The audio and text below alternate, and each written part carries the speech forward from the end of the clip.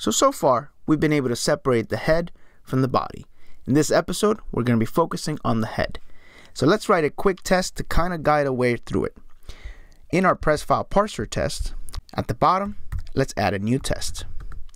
And this test is going to be each head field gets separated. And what I mean by that is this. We have title, followed by colon, and then my title. And ideally what I'd want to see is an array where title is the key, and that is equal to my title.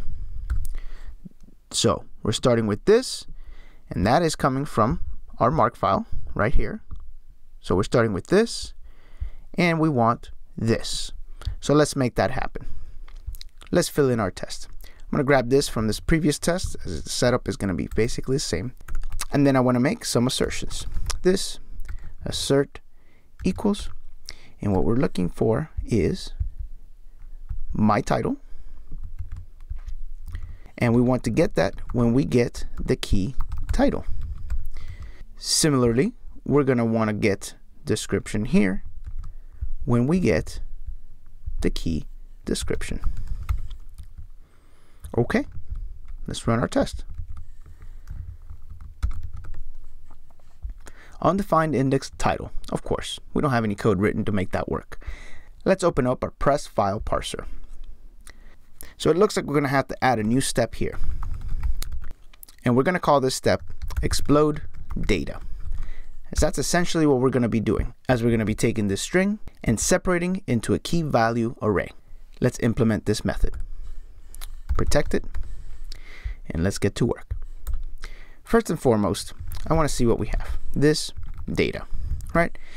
And this data at this stage is what got returned from the preg match. Let's check it out. So we have an array, and we're interested in this very first key here, right? Because we are working with the head only. So let's narrow that down a little bit. Run the test again. Okay. So I see that we're starting with a new line, and we're ending with a new line. So what's the easiest way for us to trim that? Well, let's trim it. Trim. Let's see what that does.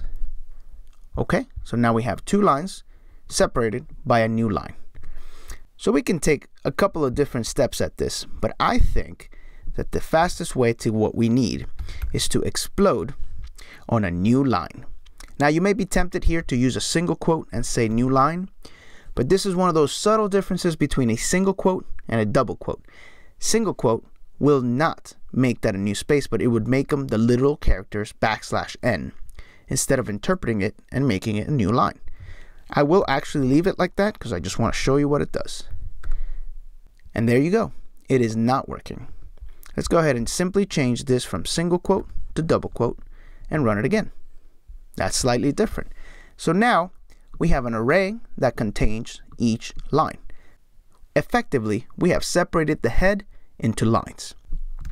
The next logical step is to iterate through each of these lines and separate them further. So back here, I'm going to write a for each loop. I'm going to pass in what we had.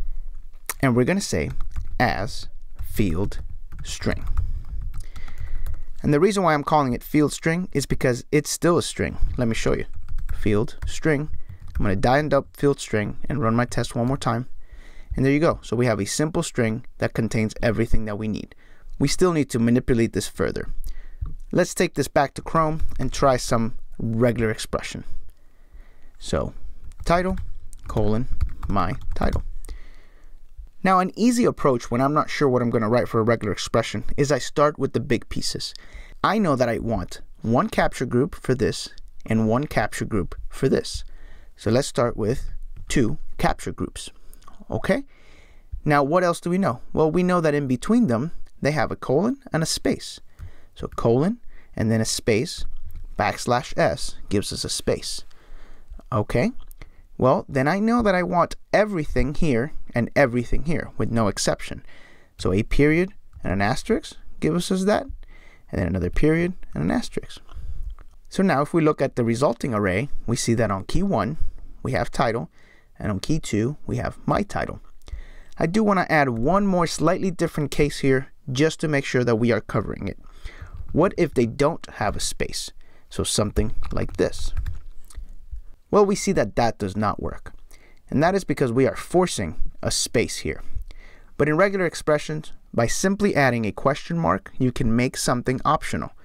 And if we do, we see that both cases are now running properly. So let me grab that and bring it back to PHP Storm. What we're looking to do here is a preg match. And the pattern that we're going to be using to match is going to be that pattern that we just brought. So now we need what we're going to be matching to, and that's going to be field string. And as a third parameter, we need where the matches are going to end up. Let's call it field array. Does that make sense? So preg match, we are preg matching using this regular expression, and we're using field string as the input and field array as the output. Let's die and dump field array at this point so we can see what we are getting back. Okay, well that's working good. Key 1 has the title and key 2 has our text.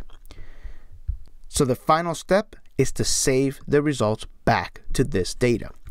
This data, and remember this data is an array, so we can put our square brackets, and remember that as a key, we want this element here. So element in key number 1, and that is under field array key 1 and we're going to set that equal to field array on key 2. How do we know it's key 2? Back on the test, we see that key 2 has the string that we want. Okay, let's go ahead and run our test one more time. And we're passing.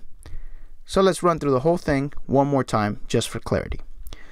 We are initiating our parser passing in our markdown file.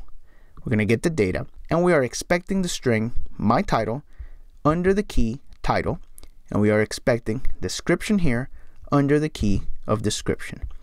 And that is coming from our markfile1.md file, which is just a test dummy blog, which has title equal to my title and description equal to description here.